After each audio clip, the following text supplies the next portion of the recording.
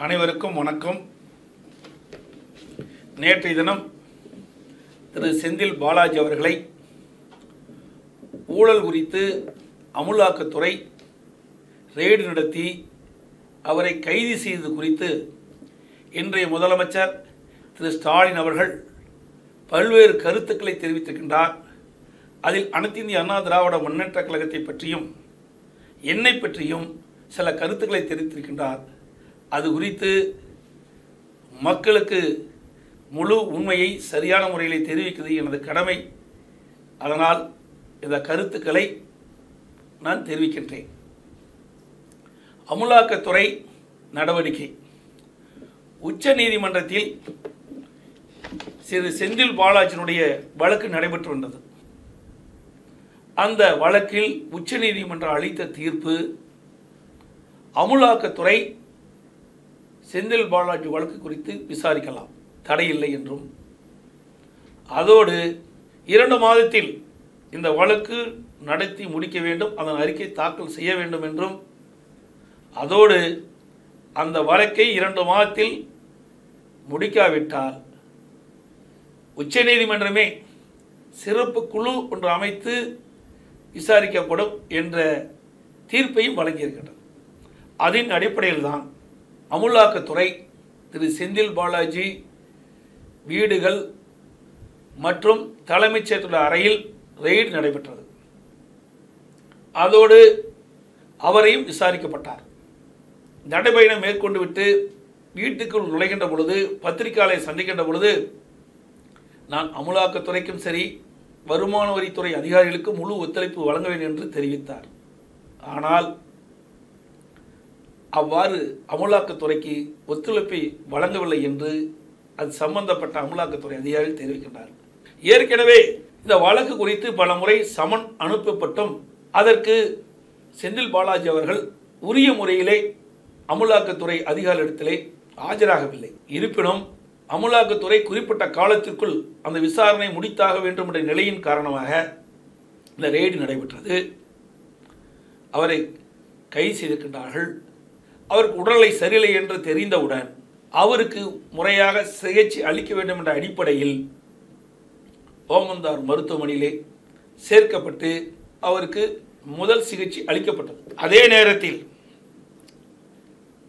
முதலமைச்சர் அவர்கள் அவருக்கு பரிந்து பேசுகிறார். இன்னும் சொன்ன போனால் இன்றைய தினம் அவர் வலைதளங்களில் பேசுகின்ற பொழுது பதற்றத்தோடு பேசுகின்ற காட்சியை நான் பார்த்தேன்.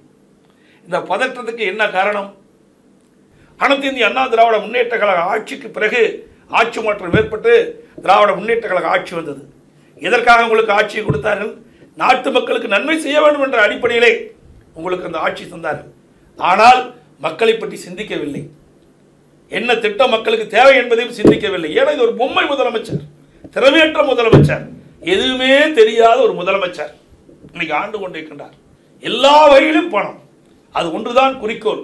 அதனால்தான் அவருடைய அமைச்சரவையில் இருக்கின்ற அமைச்சரே திரு பிடிஆர் அவர்கள் திரு பழனிவேல் தியாராஜன் அவர்களே மனம் பொறுக்க முடியாது. ஆடியோ மூலமாக முப்பதாயிரம் கோடி திரு உதயநிதி ஸ்டாலின் அவர்களும் திரு சபரீசன் அவர்களும் அந்த பணத்தை வைத்துக்கொண்டு என்ன செய்வது என்று தடுமாறி கொண்டிருக்கிறார் என்ற செய்தியை வெளியிட்டார். அந்த பணம் பெரும்பாலான பணம் திரு செந்தில் பாலாஜி மூலமாக கிடைக்கப்பட்ட செய்திகள் வலைதளங்கள் மூலமாகவும் பத்திரிகையின் செய்தி மூலமாகவும் வந்த வண்ணம் இருந்தன. ஆக அப்படி இருக்கின்ற பொழுது திரு செந்தில் பாலாஜி அமலாக்கத்துறையால் கைது செய்யப்பட்ட பிறகு இந்த செய்தியை அமலாக்கத்துறைக்கு சொல்லி விடுவார் என்ற அச்சத்தின் அடிப்படையில் பதறி போய் ஓடி ஓமந்தார் மருத்துவமனையிலே அவர் பார்க்கின்றார். அப்படி அமைச்சர்கள்லாம் பதறி போய் பார்க்கின்றார்கள். அதற்கு காரணம் ஏதாவது செந்தில் பாலாஜி தான் திரு ஸ்டாலின் குடும்பத்திற்கு கொடுக்கப்பட்ட அந்த பணத்தை சொல்லிவிடுவாரே என்ற அச்சத்தின் அடிப்படையில் தான் பதறி போய் அங்கே பார்த்தார்கள். அப்படி ஏதாவது சொல்லிவிட்டால் தன் குடும்பமும் பாதிக்கும் தன் அரசியல் வாழ்க்கையும் சூனியமாகிவிடும் இந்த ஆட்சியை போய்விடும். அந்த எண்ணத்தின் அடிப்படையில் தான் இப்படி பதறி போய் பேட்டி அளித்து கொண்டிருக்கின்றார். இதற்கு முன்பு அவர் கட்சி சேர்ந்த சட்டமன்ற உறுப்பினர்களை வருமான வரித்துறை ரெய்டு நடத்தினார்கள். அப்பொழுதெல்லாம் ஒன்றும் பேசவே இல்லை. அதே போல மத்தியிலே ஆட்சியில் இருக்கின்ற பொழுது திரு ராஜா அவர்களும் திரு கனிமொழி அவர்களையும் டூ ஜி ஸ்பெக்ட்ரம் ஊழலிலே கைது செய்யப்பட்டனர். அப்பொழுது இந்த ஆர்ப்பாட்டம் கிடையாது. அதுவும் மத்தியிலே ஆட்சியிலே இடம்பெற்றிருக்கின்ற பொழுதே அமலாக்கத்துறை சேர்ந்த அதிகாரிகள் இருவரையும் கைது செய்யப்பட்டு திகார் ஜெயிலில் அடைக்கப்பட்டனர். அப்பொழுது திரு ஸ்டாலின் அவர்கள் அவருடைய சகோதரியை கூட நேரடியாக திகார் ஜெயிலிலே போய் பார்க்கவில்லை. ஆனால் இன்றைய தினம் இந்த செந்தில் பாலாஜி அவர்களை அமுலாக்கத்துறை கைது செய்யப்பட்டவுடன் இவ்வளவு பதற்றம் இதற்காக மடியிலே கனம் இருக்கின்றது வழியிலே பயம் இருக்கின்றது. இன்றைக்கு டாஸ்மாக் என்று எடுத்துக்கொண்டால் சுமார் ஆறாயிரம் மதுபான கடைகள் தமிழகத்தில் இருக்கின்றன. அதில் ஐயாயிரத்தி அறுநூறு பார்கள் இருக்கின்றன. அதில் சுமார் மூவாயிரத்தி ஐநூறு பார்களுக்கு டெண்டரே விட கிடையாது. சுமார் இரண்டாண்டு காலமாக இந்த முறைகேடாக நடைபெற்றுக் கொண்டிருக்கின்ற பாரை கண்டுபிடித்து தடுத்து நிறுத்துவது காவல்துறையுடைய கடமை. ஆனால் காவல்துறை இன்றைக்கு திமுகவுடைய ஏவல் துறையாக மாறிவிட்டது. விழுப்புரம் மாவட்டம் செங்கல்பட்டு மாவட்டத்தில் இன்றைக்கு கள்ளச்சாராயம் அருந்தியவர்கள் போலி மதுபானம் அருந்தியவர்கள் சுமார் இருபத்தி மூணு பேர் இறந்து விட்டார்கள். சேலத்தில் மட்டும் இருபத்தி ஏழு பார்கள் முறைகேடாக நடைபெற்றது என்று சீல் வைக்கின்றார் திருவள்ளூரிலே எழுபத்தி ரெண்டு பார்கள் முறைகேடாக நடைபெற்று சீல் வைக்கின்றார்கள். அது வரைக்கும் அவங்களுக்கு தெரியாதா? இந்த அரசுக்கு தெரியாதா? காவல்துறைக்கு தெரியாதா? ஆக இரண்டு ஆண்டு காலம் முறைகேடாக பார் நடத்தி கொண்டிருக்கின்ற சொன்னால் இதுபோல் தமிழகம் முழுவதும் மூவாயிரத்தி ஐநூறு கடைக்கு மேலாக முறைகேடாக பார் நடைபெற்றுக் கொண்டிருந்தது. இதில் வருகின்ற வருமானம்லாம் முதலமைச்சர் குடும்பத்துக்கு தான் சென்று கொண்டிருந்தது. இந்த செய்தியெல்லாம் செந்தில் பாலாஜி ஏதாவது அமலாக்கத்துறைக்கு தெரிவித்துள்ளார் என்றுதான் ஓடோடி போய் அவரை பார்க்கின்றார். அனைத்து அமைச்சர்களும் அங்கேயே தங்கி முகாமிட்டு செந்தில் பாலாஜிக்கு ஆறு சொல்வது போல சொல்லிக் கொண்டிருப்பது செந்தில் பாலாஜிக்கு ஆதரவு சொல்வா போகவில்லை. இவரை காப்பாற்றிக் கொள்வதற்காக இன்றைக்கு செந்தில் பாலாஜி போய் ஆறு சொல்வதாக நாடகம் ஆடிக்கொண்டிருக்கின்றார். இரண்டு லட்சம் வாக்குகளை கூடுதலாக பெற்று இன்றைய தினம் ஆட்சியில் அமர்ந்திருக்கிற திரு ஸ்டாலின் இரண்டு ஆண்டு கால வெடியா திமுக ஆட்சி திராவிட மாடல் ஆட்சி என்று அறைகோல் விட்டுக் கொண்டிருக்கின்ற முதலமைச்சர் இந்த இரண்டு ஆண்டு காலத்திலே எந்த துறையும் கவனிக்கப்படவில்லை. எல்லா துறையும் வளர்ச்சி என்று சொல்கிறார். வளர்ச்சி எதிலே இருக்கின்ற சொன்னால் ஊழலில் தான் வளர்ச்சியாக இருக்கிறது. அந்த ஊழல் தான் வளர்ச்சி பெற்றிருக்கின்றது எல்லா துறைகளிலுமே. ரெண்டாண்டு காலம் சுமார் முப்பதாயிரம் கோடிக்கு மேலாக இவர்கள் எல்லா துறைகளிலும் சுரண்டி ஊழல் செய்திருக்கின்றது. அப்பட்டமாக நாட்டு மக்களுக்கு இன்றைக்கு வெளிச்சம் போட்டு காட்டப்படுகின்றது என்பதை நேரத்தில் தெரிவிக்க விரும்புகின்றேன். எதுவுமே தெரியாம யாரோ எழுதி கொடுக்கறத வைத்து பேசுகின்ற முதலமைச்சர் தான் இன்றைய முதலமைச்சர்.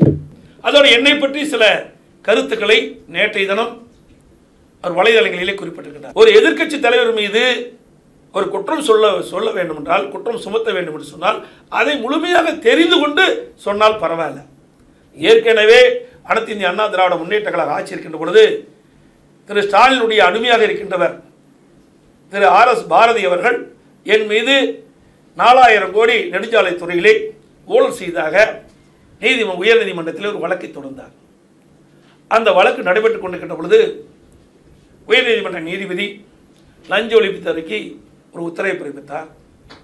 இதை விசாரித்து சீலிட்ட க அந்த விசாரணை அறிக்கையை சீலிட்ட கவரிலே உயர் உயர்நீதிமன்றத்தில் சமர்ப்பிக்கப்பட வேண்டும் என்று.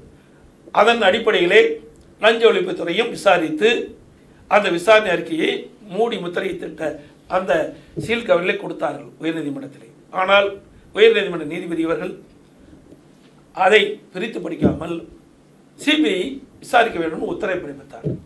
உடனே நான் உச்சநீதிமன்றத்தை அணுகி அதற்கு தடை வாங்கினேன். பிறகு ஆட்சி மாற்றம் ஏற்பட்டது. திராவிட முன்னேற்ற கழக ஆட்சிக்கு வந்தது. ஆட்சிக்கு வந்தவுடன் அங்கே தடையானை நீக்க வேண்டும் உச்சநீதிமன்றத்திலே வாதாடினார்கள். அப்பொழுது உச்சநீதிமன்றம் தெளிவான தீர்ப்பை கொடுத்தது. மீண்டும் உயர்நீதிமன்றத்தில் இந்த வழக்கு நடத்த வேண்டும். அதுவும் ஏற்கனவே லஞ்ச ஒழிப்புத்துறை சீலிட்ட அந்த அறிக்கையின் அடிப்படையிலே வழக்கு நடைபெறும் என்று தீர்ப்பளித்து அந்த தீர்ப்பின்படி உயர்நீதிமன்றத்திலே வழக்கு வந்தது. அந்த வழக்கு நடைபெற்ற ஆரம்பித்தது. அப்பொழுது யார் திரு ஸ்டாலின் மூலமாக என் மீது ஒரு பொய்யான ஊழல் வழக்கை தொடர்ந்தாரோ திரு அரசுவாதி அவரே முன் வந்து இந்த வழக்கை நான் வாபஸ் பெற்றுக்கொள்வேன் என்று சொன்னார். அது கூட தெரியாமல் ஒரு முதலமைச்சர் தான் இன்றைய முதலமைச்சர். ஆனால் நான் அப்பொழுது நீதிமன்றத்திலே என்னுடைய வழக்கின் மூலமாக நாங்கள் குறிப்பிட்டோம். நான் இந்த வழக்கை நடத்துகிறேன். தொடர்ந்து நடத்துகிறேன். மடியிலே கனமில்லை வழியிலே பயமில்லை. அதுதான் அனைத்து இந்திய அண்ணா திராவிட முன்னேற்ற கழகம். உங்களைப் போல இன்றைக்கு இரண்டு நாட்களாக தொலைக்காட்சியிலும் பத்திரிகையிலும் வர செய்தியை பாருங்கள். இந்த நாடே காரி துப்பிக் கொண்டிருக்கிறது உங்கள் ஆட்சியை பற்றி. இந்த முதலமைச்சருக்கு உண்மையிலே தில்லு திராணி இருந்தால் இந்த வழக்கை சந்திக்க வேண்டும். துணிச்சலோடு சந்திக்க வேண்டும். நாங்கள் சந்திக்கிறோம் அல்லவா அதே போல இந்த முதலமைச்சர் அவர்களும் எப்பொழுது திரு செந்தில் பாலாஜி அவர்கள் மீது போடப்பட்ட அமலாக்கத்துறை இன்றைக்கு வழக்கு தொடரப்பட்டிருந்த அந்த வழக்கை நேர்மையான முறையில் சந்தித்து வாதாடி நீதிமன்றத்தில் நாங்கள் நிரபராதி என்று வெளியே வாருங்கள். அதை விட்டுவிட்டு ஏதோதோ பேசி மக்களை குழப்பி ஏதோ திரு ஸ்டாலின் திரு செந்தில் பாலாஜி ஒரு நல்லவர் என்ற ஒரு தோற்றத்தை உருவாக்க பார்க்கிறார். இதே செந்தில் பாலாஜி பற்றி இப்படியெல்லாம் இன்றைய முதலமைச்சர் ஸ்டாலின் பேசுகிறார் என்பதற்கு சில நேரத்தில் சில குறிப்புகளை இந்த நேரத்தில் தெரிவிக்கின்றேன். திரு ஸ்டாலின் அவர்கள் எதிர்க்கட்சி தலைவராக இருக்கிற பொழுது அப்பொழுது திரு கரூரிலே ஒரு பொதுக்கூட்டத்திலே பேசுகிறார். அப்பொழுது செந்தில் பாலாஜி பற்றி குற்றம் சுமத்துகிறார். போக்குவரத்துறையின் அமைச்சராக இருந்த செந்தில் பாலாஜி நடத்துனருக்கு மூன்று லட்சம் மெக்கானிக் பணிக்கு ஆறு லட்சம் என்று கொடுத்து ஏமாந்தவர் லட்சக்கணக்கானோர். இதுவரை நாற்பத்தெட்டு பேர் புகார் கொடுத்துருவாங்க என்று பேசியது இன்றைய முதலமைச்சர் அன்றைக்கு எதிர்க்கட்சி திரு ஸ்டாலின் அவர்கள். இன்றைக்கு எப்படி நல்லவர் ஆயிட்டாரு திரு செந்தில் பாலாஜி ஒரு ஊழல் ஆட்சி என்பதற்கு முத்திரை குத்தப்பட்டிருக்கின்றன நாங்கள் அப்படியா இருக்கட்டும் நாங்கள் நீதிமன்றத்திலே நாங்கள் எந்த குற்றம் செய்யவில்லை என்று வாதாடுகிறோம். அங்கே அந்த வழக்கை சந்திக்கணும் சொன்ன கட்சி அண்ணா திமுக கட்சி அனைத்து இந்திய அண்ணா திராவிட முன்னேற்ற கழகத்தை இனி இந்த முதலமைச்சர் சீண்டி பார்க்கக்கூடாது. இந்த ஊழலுக்கு அவருடைய கூட்டணி கட்சிகளும் துணை போக வேண்டாம் என்று இந்த நேரத்தில் கேட்டுக்கிறேன் இன்னைக்கு கூட்டணியில் இருப்பீங்க. நாளைக்கு வெளியில் வந்துடுவீங்க. மக்களுக்கு எப்படி பதில் சொல்லுவீங்க? அனைத்து இந்திய அண்ணா திராவிட முன்னேற்ற கழகம் பாரதிய ஜனதா கட்சியுடைய அடிமை என்று சொல்கிறார்.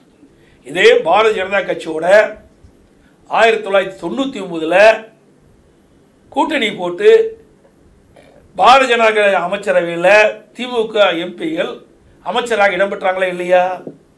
அதே காலத்துக்கு ஏற்றவாறு தங்களை மாற்றிக்கொள்வார்கள் பச்சோந்தி எப்படி அடிக்கடி மரம் நிறம் மாறுமோ அதே போல அதிகாரத்துக்கும் அதே போல தன் குடும்பத்தைச் சேர்ந்தவர்கள் பதவிக்கு வர வேண்டும் என்று சொன்னால் எதை வேணாலும் செய்யக்கூடிய குடும்பம்தான் திரு ஸ்டாலின் குடும்பம் என்பதை நாட்டு மக்கள் அறிவார்கள் என்பதை தெரிவித்துக் கொள்கின்றேன்.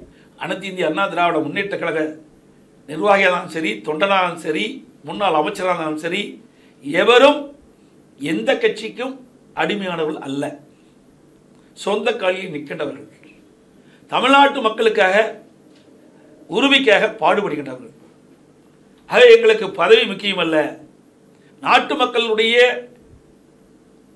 எண்ணங்களை நிறைவேற்றுவதுதான் அனைத்து இந்திய அண்ணா திராவிட முன்னேற்றக்கூடிய லட்சியம். அது மட்டுமல்ல அந்த சோதனை நடத்த வந்த வருமான வரித்துறை அதிகாரிகள் பல பேர் செந்தில் பாலாஜியுடைய ஆதரவாளர்கள் தாக்கப்பட்டு மருத்துவமனையிலே சிகிச்சை பெற்று வந்தார். அப்பொழுதெல்லாம் இன்றைய முதலமைச்சர் வாய் திறக்கவே இல்லை.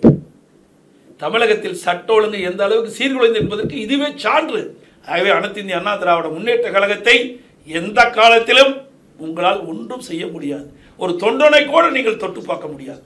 எத்தனையோ வழக்குகள் வேண்டும் என்றே திட்டமிட்டு பொய் வழக்குகள் போட்டுக் கொண்டிருக்கிறீர்கள் இதையெல்லாம் எதிர்காலத்திலே சந்திக்க வேண்டிய நிலை ஏற்படும். அனைத்து இந்திய அண்ணா திராவிட முன்னேற்ற கழகத்தை பொறுத்துக்கிறேன் பொன்மனச்சம்பள புரட்சித் தலைவர் எம்ஜிஆர் இதே புரட்சித் தலைவர் அம்மா இருவரும் தலைவர்கள் உருவாக்கிய இயக்கம் இந்த இயக்கத்தை எவர் அழிக்க நினைத்தாலும் அவர் அழிந்து போவார்கள். காற்றோடு காற்றாக கரைந்து போவார் என்பதை நேரத்திலே தெரிவித்து எனது உரையை நிறைவு செய்கின்றேன். நன்றி வணக்கம். உலக தமிழ் சொந்தங்களுக்கு வணக்கம். நான் ராஜவேல் நாகராஜன். பேசு தமிழா பேசு வலையொலியுடைய வளர்ச்சிக்கு நீங்களும் உறுதுணையாக இருக்கணும்னு நினச்சிங்கன்னா இந்த வீடியோடைய டிஸ்கிரிப்ஷனில் இருக்கக்கூடிய ரேசர் பே லிங்கை கிளிக் பண்ணுங்கள் அந்த லிங்கில் போயிட்டு உங்களுக்கு விருப்பமான தொகையை பேசு தமிழா பேசுவனுடைய வளர்ச்சிக்கு உங்களுடைய பங்களிப்பாக நீங்கள் கொடுக்கலாம். நன்றி வணக்கம்.